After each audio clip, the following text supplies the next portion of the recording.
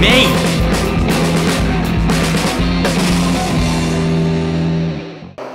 はい、カノンフェスタへようこそ、メイです。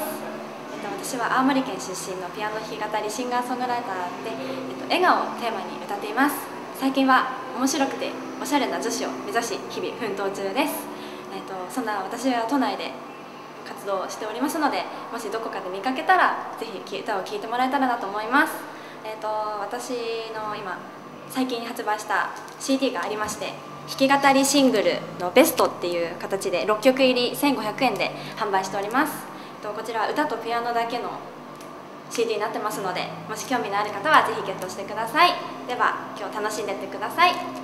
メイでした。はい。